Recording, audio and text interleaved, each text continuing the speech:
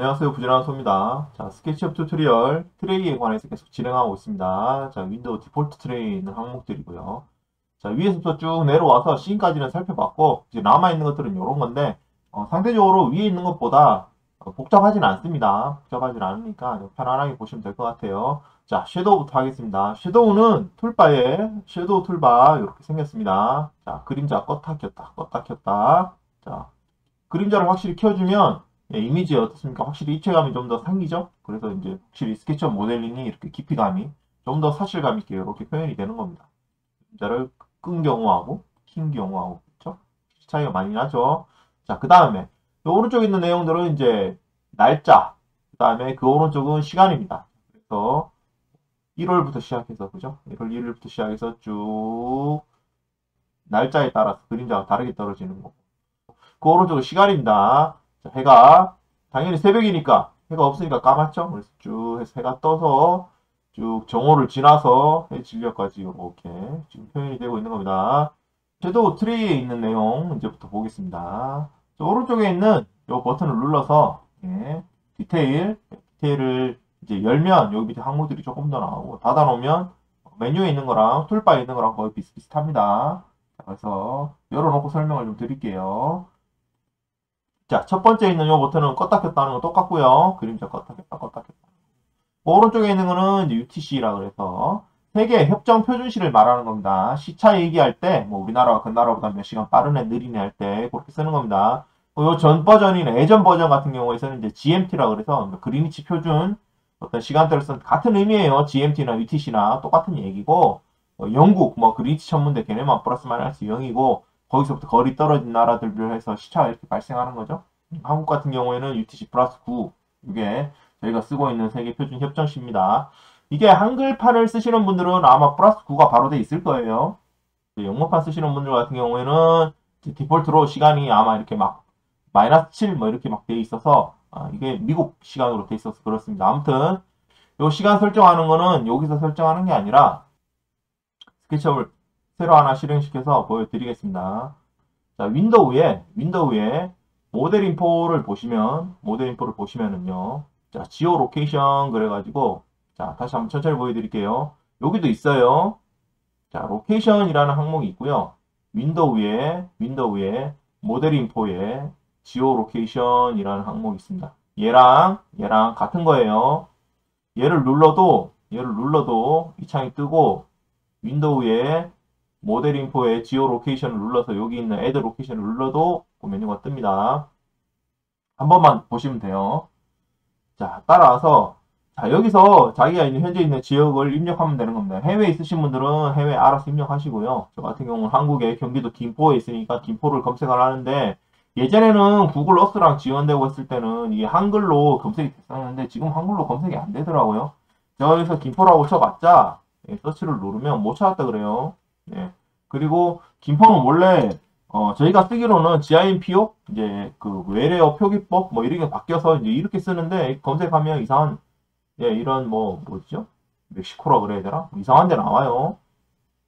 그래서 제가 다시 Google Earth를 이렇게 빼서 예, 이렇게 해서 찾아서 세계 지도에서부터 찾아서 이렇게 한국을 가서 아까 미국이었네요. 이렇게 North Korea, South Korea 이렇게 쭉 찾아가서 보니까 보니까 서울 위에 이렇게 보니까 고양시 옆에 김포를 이렇게 써놨더라고요. 예. 그래서 이렇게 안 치면 안 나와요. 그래서 KIM P O 이렇게 쳐야 나오더라고요. 자, 아무튼 이렇게 치면 여기 김포를 이렇게 찾아줍니다. 각자 자기 사시는 찾으세요. 그, 뭘, 어디가, 사- 어디가 됐든지 사실은 상관이 없는 게 한국은 시차가 없죠? GMT 플러스 9를 쓰니까, 예, UTC 플러스 9를 쓰니까 아무 데나 찾으시면 돼요. 자, 아무튼, 이렇게 해서, 사실은 이거는 뭐 지역이 불러와서 지형 같은 거 이런 거 볼 때 쓰는 건데, 이건 나중에 구글 어스 연동할 때 설명, 요거, 요거, 요 옆에 설명할 때 따로 설명드리고, 지금은 시간 설정, 시간이랑 위치, 경도 설정하는 것만 보시면 돼요. select region에서, 자, Digital Globe, 밑에 건 돈 내라 그러고, 요걸 선택하시고, 그냥 쭉 따라 하시면 돼요. 여기서 import, import 하시면, 어쩌고 저쩌고 해서, 방금 그 봤던 지도의 내용이, 이런 식으로 화면에 들어오게 되고, 자, 태그를 한번 열어볼게요. 태그를 이렇게 열어보면, 이런 식으로, 살짝 올라간 거 보이시나요? 하도 넓은 지역을 갖고 왔는데 이런 식으로 예, 위성 지도로 확인 가능한 등고선 이런 식으로까지 이 데이터까지 넘어오는 겁니다. 자 지금 필요한 건 이게 아니고요. 필요한 건 이게 아니고 저희가 지금 갖고 왔더니 UTC 플러스 8이라고 나오죠? 네, 그 지역을 가지고 오면 이렇게 나오는 겁니다. 예, 지금 여기 보면 geo location, location, 그 geographic location 그래서 제가 방금 클릭한 정보를 가지고 온 거죠. 자, 남한의 김포의 자, 위도 경도 그죠? 37도 북방 뭐 37도 뭐 이렇게 해서 나오는 겁니다. 이렇게 다 가지고 있는 거고 가지고 있는 거고 여기 set manual location 보시면 이렇게 나오는 겁니다. 그래서 여기 여기 37에 126, 37에 126, 37에 126. 요 정보만 내가 알고 있으면 이 번거로운 과정이 필요 없다 이거예요. 갖고 오는 거는 말씀을 드렸어요. 37에 뭐 김포가 아니라 부산이면 찾아가시고 포항이면 찾아가세요. 광주면 찾아가시고요. 자, 37에 126을 외우는 상태에서 외우는 상태에서 cancel하고 이 창은 필요 없으니까 닫아버리고 자, 일로 다시 온 겁니다. 자, window에 model info에 그죠? 이게 보면 advanced setting이라고 그래서 window model info geo location에 add location이 아니라 그 땅 정보는 필요 없으니까 자, advanced setting의 set manual location이라서 그리고 여기 보시면 지금 USA라고 그래서 이제 미국이라고 되어 있는 거거든요. 자, 이래서 이 시간이 이렇게 나오는 겁니다. 자, 그래서 여기서 37에 여기서 126 치고 OK를 뭐예요? 한국이라고 해놓을까요? 어, 이런 식으로 location 우리 집 이렇게 해놨습니다. 그래서 OK를 눌러버리면 자 UTC 플러스 8이라고 자동으로 바뀌어버리죠. 오른쪽에 제가 요 37에서 26 넣으면 바뀌는 겁니다. 저렇게 쓰시면 돼요.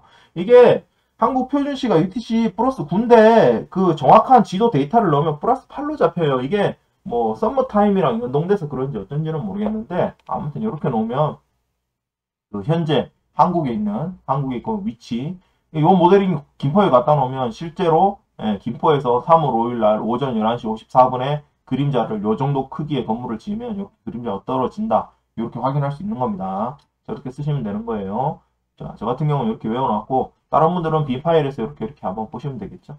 자, 쓰시면 되고 자, 이거는 사실은 이렇게 하시면 되죠. 윈도우에 모델 인포에 B 파일 열어서 47에 126이니까 그죠? 빈 파일 열어서 window model info set manual location 눌러서 여기서 37에 126 치고 저장한 다음에 파일 세이브 에스 템플릿 해놓으시면 그죠? 네. 열 때마다 위치 위치값 입력하실 필요 없겠죠. 이런 거 한번 저장해 놓으면 어떤 그 그림자 쓸 수 있다. 네, 그렇게 쓰시는 거고요.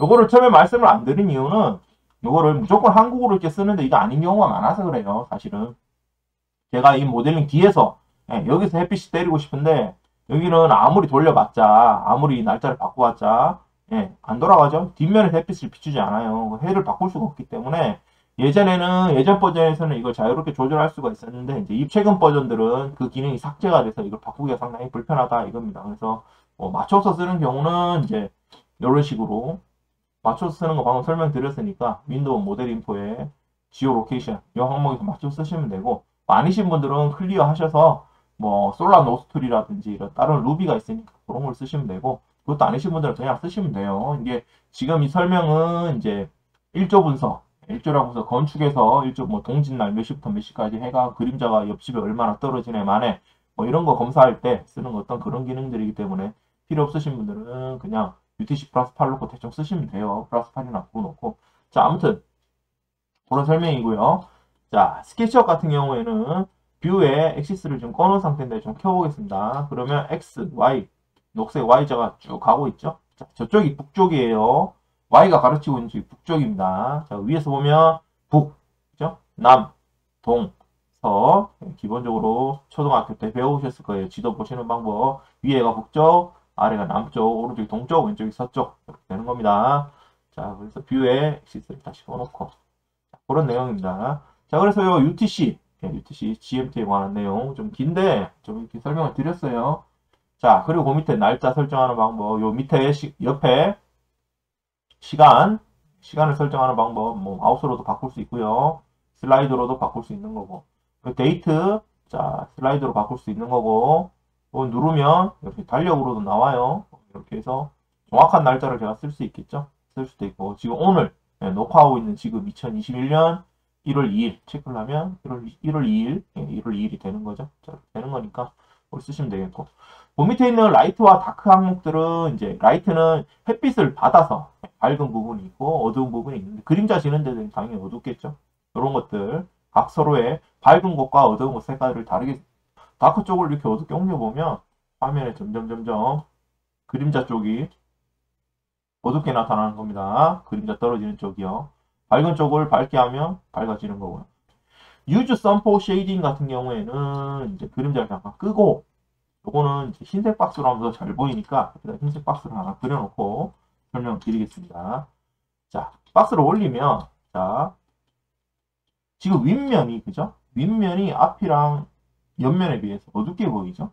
SketchUp이 자체적으로 shading을 하고 있는 겁니다. 면 색깔을 다르게 해서 3D 프로그램이기 때문에 면 색깔을 다르게 해서 화면에 깊이감을 주고 있는 건데요. 마우스를 이렇게 돌려보면 돌려보면 지금 여기가 더 어둡죠? 이렇게 하면 여기가 더 어두워지는 거고요. 지가 알아서 이렇게 돌아가는 건데 알아서 돌아가는 건데 자 그림자를 켜보면 그림자를 켜보면 자 실제로는 실제로는 과하게 좀 돌려볼게요. 그림자가 한쪽으로 좀 쏠려 있으니까 아 쏠려 있어야 이해하기 쉬우니까 이 정도만 해보겠습니다.